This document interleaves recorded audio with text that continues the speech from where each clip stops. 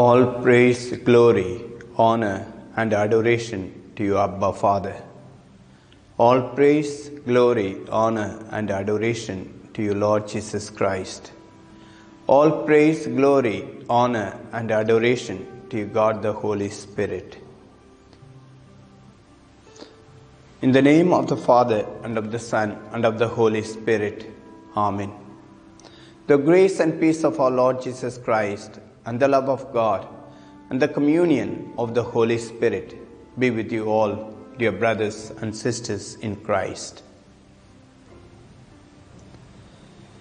One of the most important qualities attributed to God is His holiness. God is holy.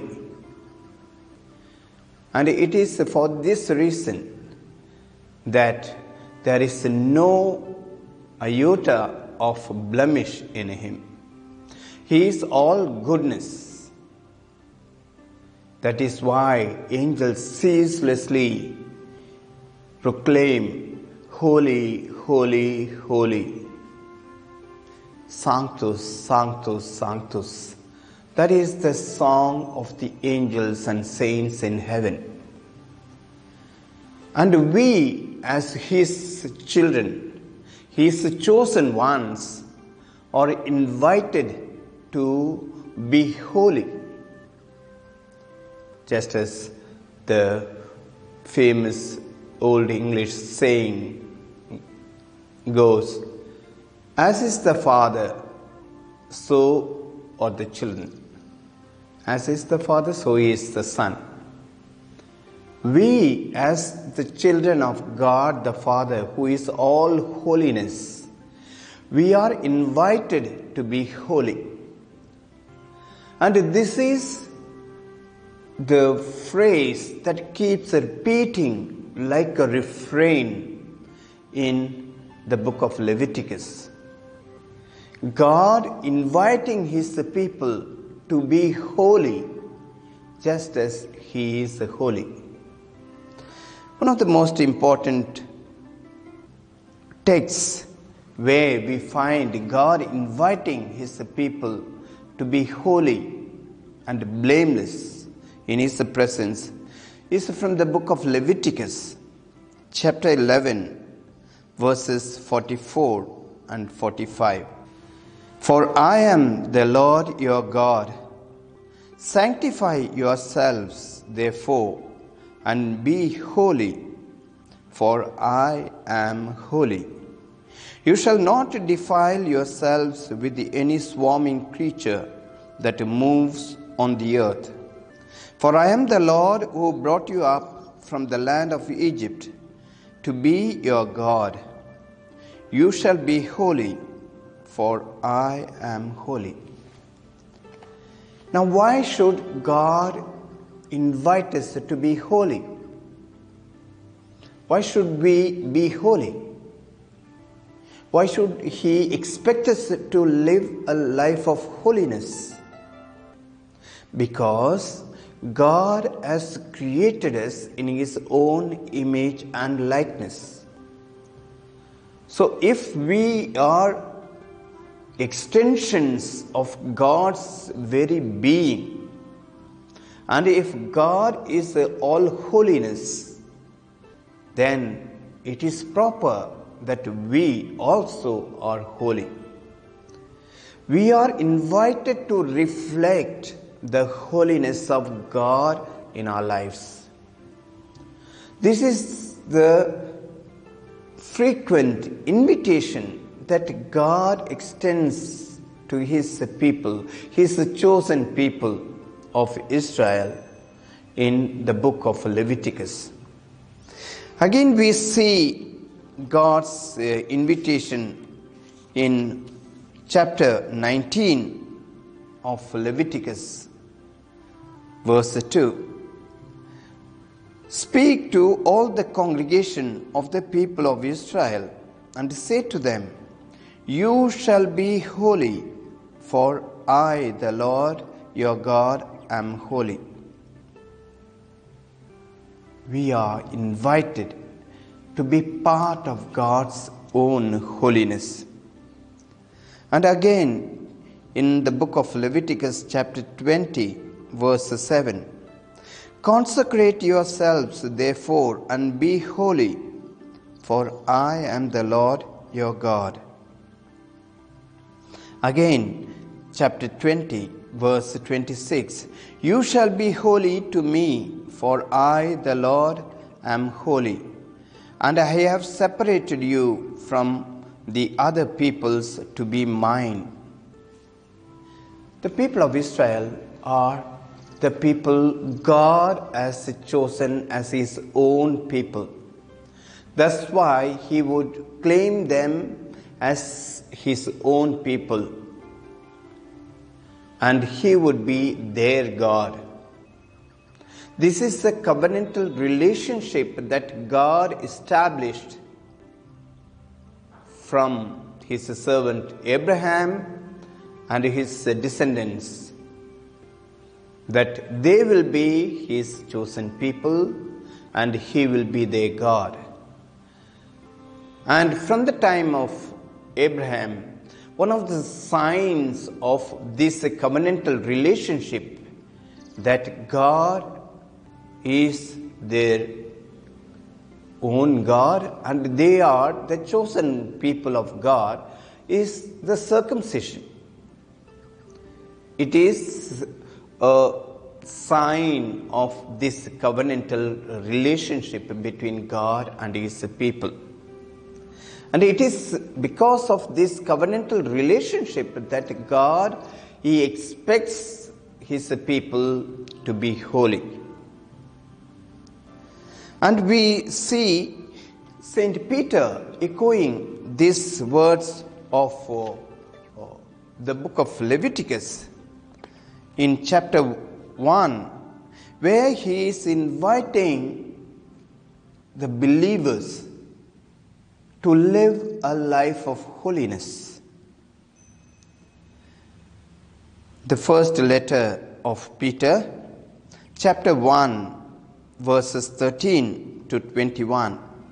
It is an invitation to life of holiness. Let us attentively listen to this invitation because this invitation is extended today to each one of us. First letter of Peter, chapter 1, verses 13 to 21. Therefore, prepare your minds for action, discipline yourselves Set all your hope on the grace that Jesus Christ will bring you when He is revealed.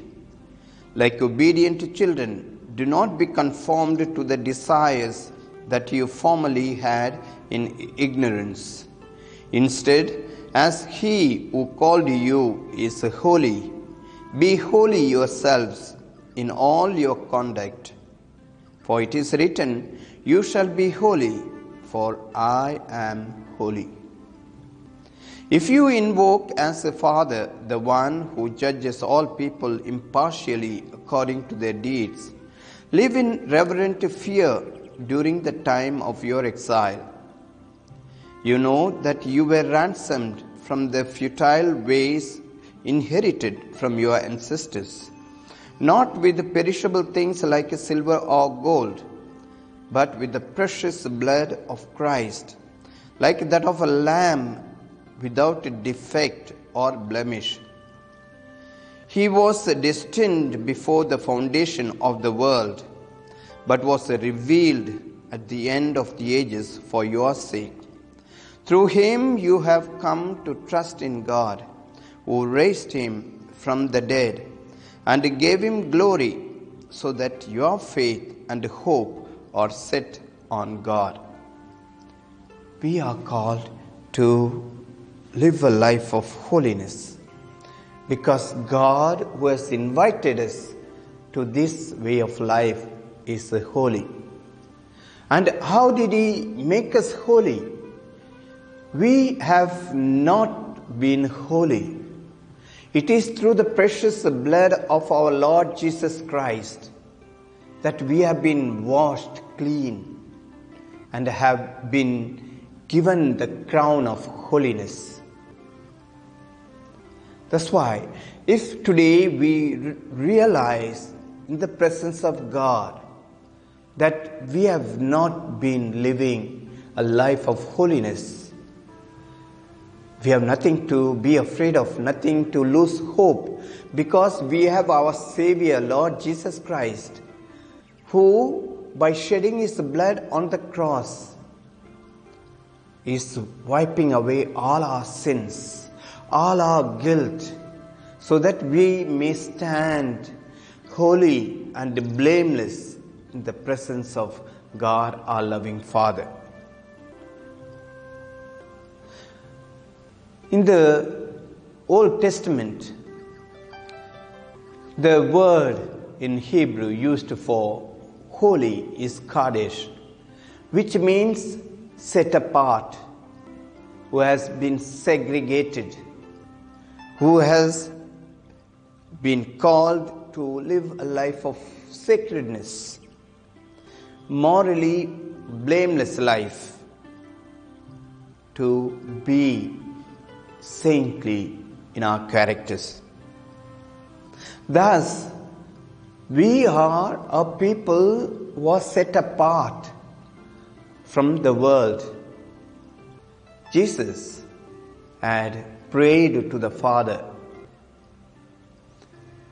that He is not removing us from the world because we will live in this world but by our behavior, by our character, by our life, we will show that we are a people who are set apart, who are a people consecrated, who have been sanctified by the anointing Holy Spirit. It is only after we are washed clean by the precious blood of our Lord Jesus Christ that God will pour His Spirit upon us. He will anoint us with His Spirit so that we stand holy and blameless in His presence and praise His glory.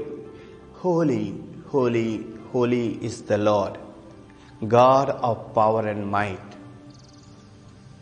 So today, we recognize this great invitation that God is extending to us. And St. Paul will uh, remind us about this uh, invitation in his letter to the Ephesians, chapter 1, verse 4, that we have been chosen by God. It is not that by fluke we are uh, called to this way of life. We have been chosen by God. The letter of St. Paul to the Ephesians, chapter 1, verse 4. Just as he chose us in Christ before the foundation of the world to be holy and blameless before him in love. It is through our Lord Jesus Christ that God our Father had destined us to be holy and blameless in His presence. And in baptism, we receive the garment of holiness. And we are invited to keep that holiness intact till we leave the world. But the impurities of the world, the attractions of the world, the pushes and pulls of our world, they take us away from this holiness. And today we are invited to come back to the Lord, to purify ourselves, to allow ourselves to be cleansed by the saving blood of the Savior to receive His anointing so that we recognize that we are set apart from this world, to be holy and blameless in His sight. And again, Saint Paul will remind Timothy, his disciple, to live this life of holiness. In chapter 1, verse 9, who saved us and called us with the holy calling not according to our works, but according to His own purpose and grace. So, holiness is not that we merit by our good works or by our good character, but it is a gratuitous gift of God. It is the free gift that God pours on us freely. We do not deserve this grace, free gift. We are unworthy of beholding this free gift that God pours out on us. It is not because we merit it, but it is the free gift. God, out of His love, because of the life that His Son, our Lord Jesus, has given to us, He pours out that gift to us. So today we receive that gift with gratitude in our hearts so that we may stand holy and blameless, spotless in His presence and serve Him till the end of our lives.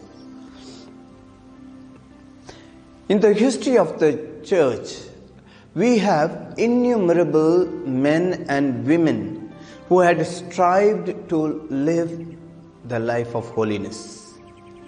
We call them saints and blessed.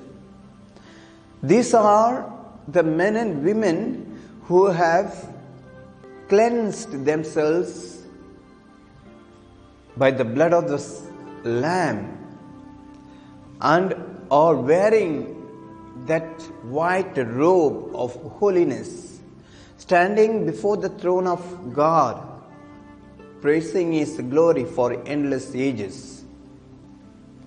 And Pope Benedict XVI would call them the revolutionaries of holiness the saints and blesseds we honor in the church are truly people who have revolutionized spirituality for our times.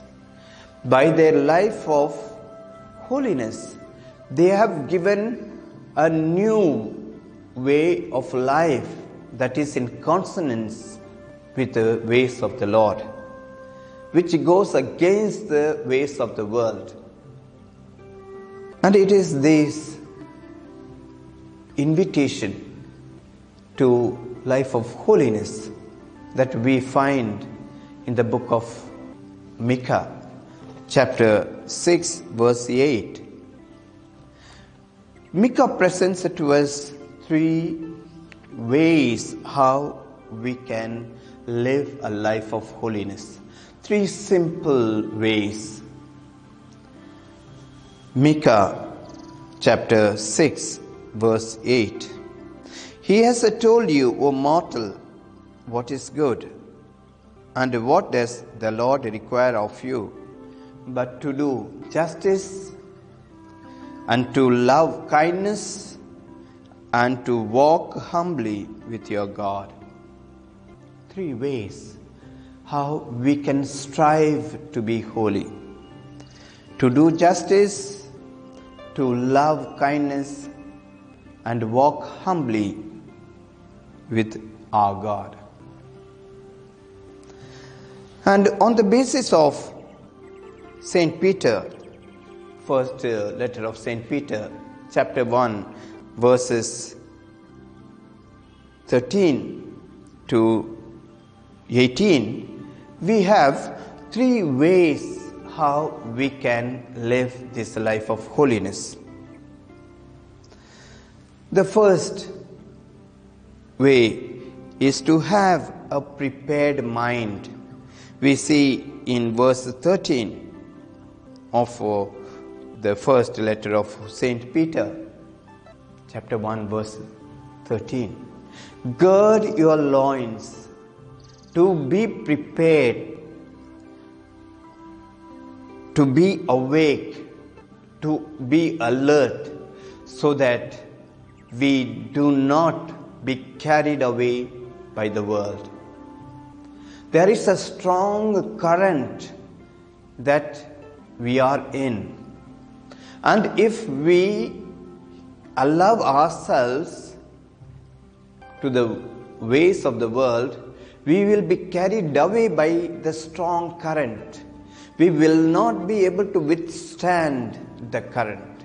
Because the current is so strong that we need to be constantly on the alert, awake to fight against the current, to swim against the current.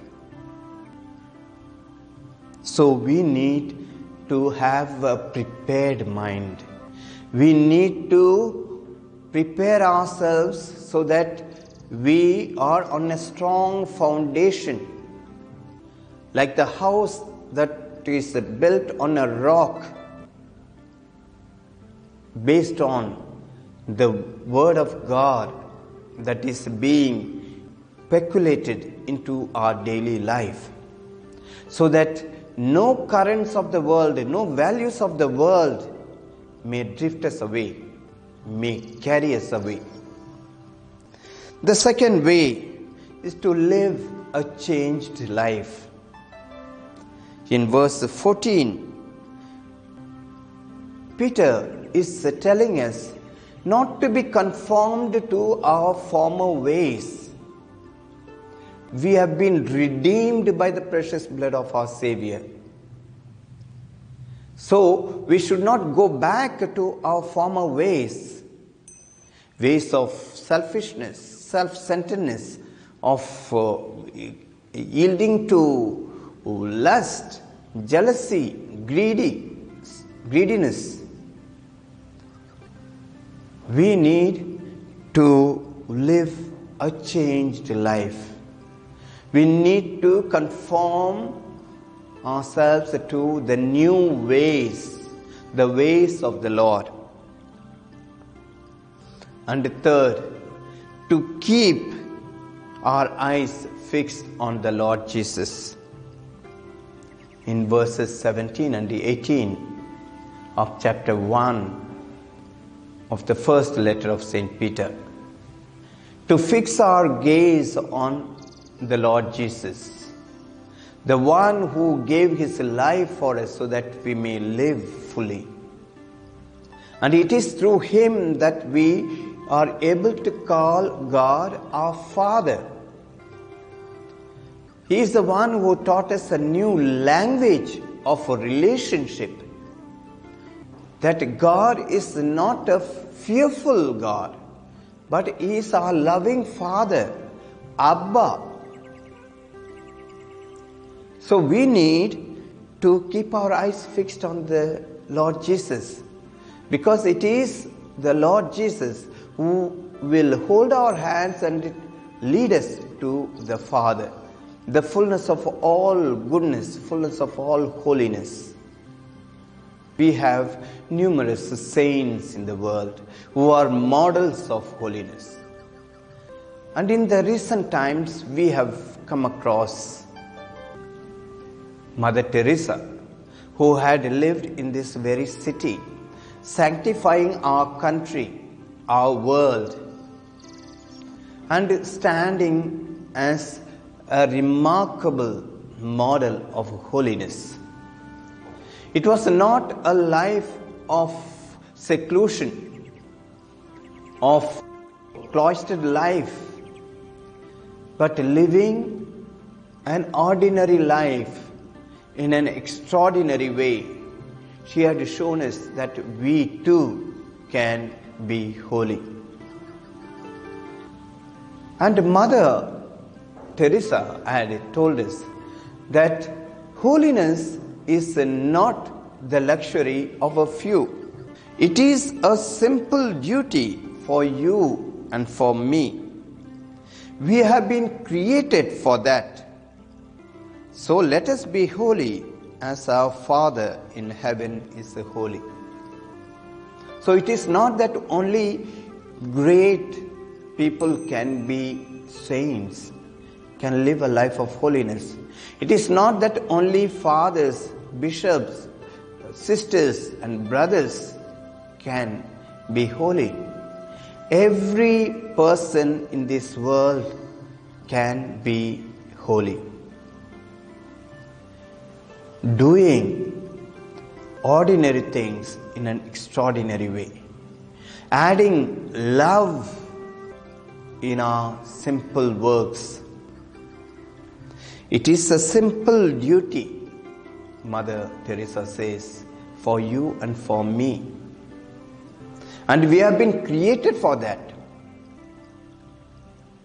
To be holy as our Heavenly Father is holy. Mother says, holiness is not the feelings of an imagination. It is a reality. One thing that helps me and will help you is this works of love or works of holiness. If there is love in our hearts, out of that love will bloom the blossoms of holiness. Mother had shown that by her life. All our actions of love bore the blossoms of holiness. Mother continues Nothing can make me holy except the presence of God. And to me, the presence of God is a fidelity to small things. Fidelity to small things will lead to Christ. Infidelity to small things will lead you to sin. So, fidelity to small things. Let us not think of big things. Sitting at the church for 24 hours, non stop, without eating, without uh, drinking water, without resting. No, we don't need to think of extraordinary things. We can do simple things with great love, great devotion, great fidelity. That's why what God has invited is not so much to be successful in the world, but to be faithful to Him, to hold the spirit of fidelity to God, in answering, in responding to His invitation. And this is what this uh, psalmist, King David, is praying for in Psalm 27. A beautiful psalm, a triumphant song of confidence, seeking God, finding Him, and living in His presence. And that is what holiness is to seek the Lord, to find the Lord, and to live in His holy presence. Let us now prayerfully listen to these words of confidence in the Lord. Psalm 27 The Lord is my light and my salvation. Whom shall I fear? The Lord is the stronghold of my life. Of whom shall I be afraid? When evildoers assail me to devour my flesh, my adversaries and foes, they shall stumble and fall. Though an army encamp against me, my heart shall not fear. Though war rise up against me, yet I will be confident. One thing I ask of the Lord, that will I seek after to live in the house of the Lord all the days of my life, to behold the beauty of the Lord, and to inquire in his temple. For he will hide me in his shelter in the day of trouble. He will conceal me under the cover of his tent. He will set me high on a rock. Now my head is lifted up above my enemies all around me, and I will offer in his tent sacrifices with the shouts of joy. I will sing and make melody to the Lord. Hear, O Lord, when I cry aloud. Be gracious to me and answer me. Come, my heart says, Seek his face. Your face, Lord, do I seek. Do not hide your face from me. Do not turn your servant away in anger. You who have been my help. Do not cast me off. Do not forsake me, O God of my salvation. If my father and mother forsake me, the Lord will take me up. Teach me your way, O Lord, and lead me on a level path because of my enemies. Do not give me up to the will of my adversaries, for false witnesses have risen against me, and they are breathing out violence. I believe that I shall see the goodness of the Lord in the land of the living. Wait for the Lord be strong and let your heart take courage. Wait for the Lord. In the recent times, we have come across a saint who has shown us what it means to have courage to choose God and His ways. In 1894, in Poland was born a child, a boy, Maximilian Kolbe. Later on, this Polish boy joined the conventual Franciscan friars and he became a priest he died at the very young age of 46. But within this time, he had achieved remarkable holiness.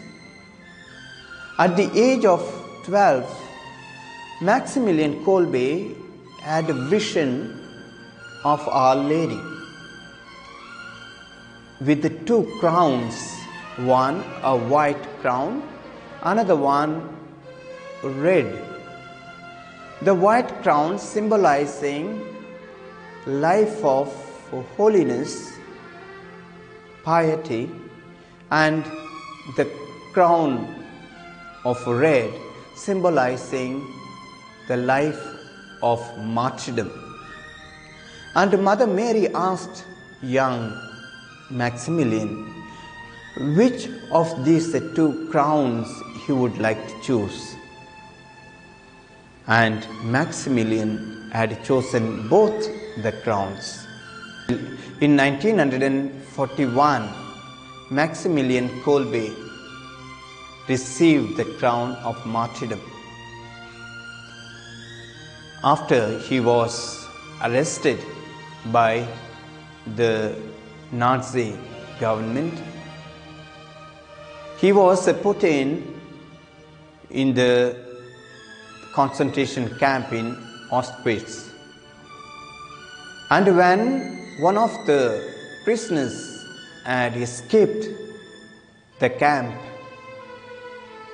ten of the prisoners were picked up randomly. And one of the ten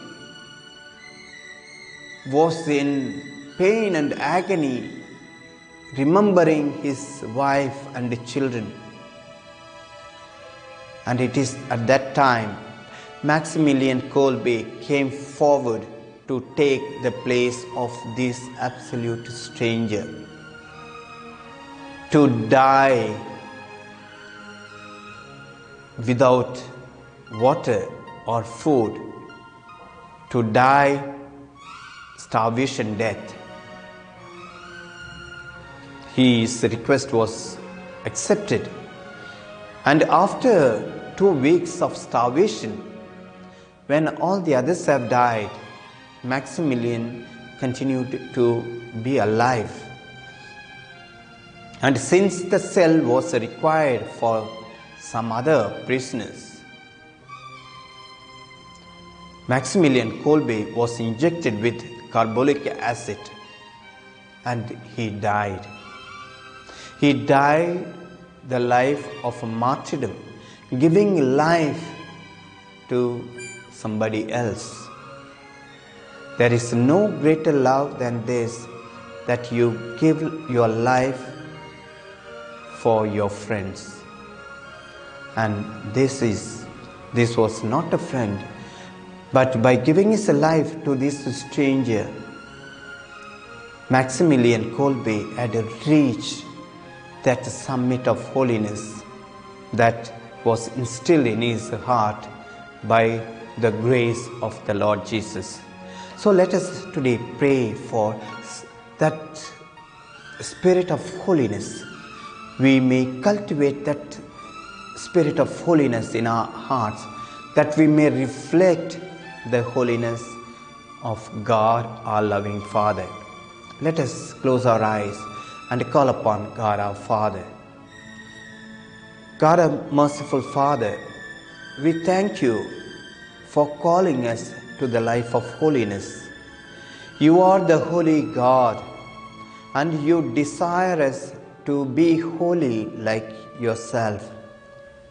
Grant us the grace by choosing you and your kingdom values, by going against the values of our world, we may stand for you and nurture, cultivate day by day this spirit of holiness, that one day we may be counted in the countless saints and blessed in your heavenly kingdom to receive that crown that you have in store for your holy men and women. And we seek this grace through the precious blood of your Son, who has cleansed us to be holy and blameless in your sight, that by the merits of his passion, death, and resurrection, we may receive this great gift of holiness in our lives. We make this prayer in the holy name of Jesus our Lord. Amen. In the name of the Father, and of the Son, and of the Holy Spirit. Amen.